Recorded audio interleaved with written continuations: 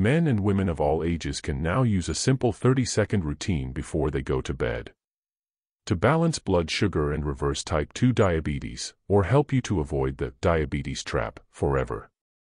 While at the same time, this 30-second routine forces your body to melt fat, especially around your belly area. The best part is, when you follow the simple bedtime tip in this private presentation. You'll trigger a safe, natural, but amazingly powerful metabolic process inside your body that balances your blood sugar and switches your body into high-speed fat melting mode so you can literally lose pounds overnight. While you sleep.